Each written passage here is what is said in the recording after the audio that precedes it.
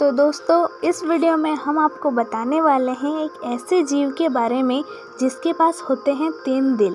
तो चलिए friends, video को स्टार्ट करते हैं। दोस्तों, आपको जानकर हैरानी होगी कि ऑक्टोपस धरती पर मौजूदा एक लौता ऐसा जीव है जिसके पास तीन दिल होते हैं।